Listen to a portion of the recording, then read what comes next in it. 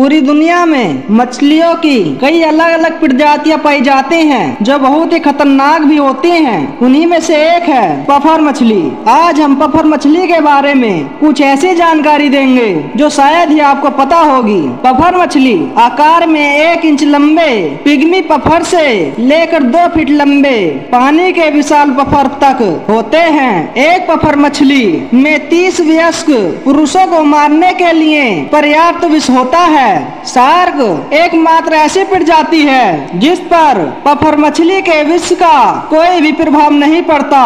SAARC मछली परिणाम स्वरूप पफर मछली को खा सकती है। पफर मछली अलग या चमकीले रंग की भी हो सकती है। पफर मछली के चार दांत होते हैं, जो चोच जैसी संरचना में जुड़े होते हैं। पफर मछली का औसत जीवन काल लगभग दस वर्ष का होता है।